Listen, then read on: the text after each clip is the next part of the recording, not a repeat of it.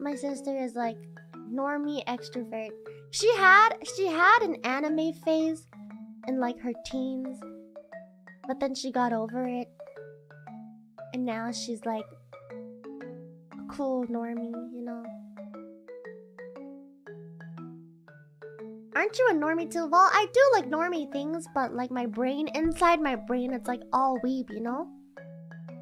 I go out and I'm listening to Vocaloid and like thinking about, you know, what v VTuber stream I'm gonna watch later. Know? it's just be like that. How'd you get over the anime phase? Bro, I turned into an anime girl. Do you think I know? Do you think I'm doing well in getting over my anime phase? When I became anime? What do you think?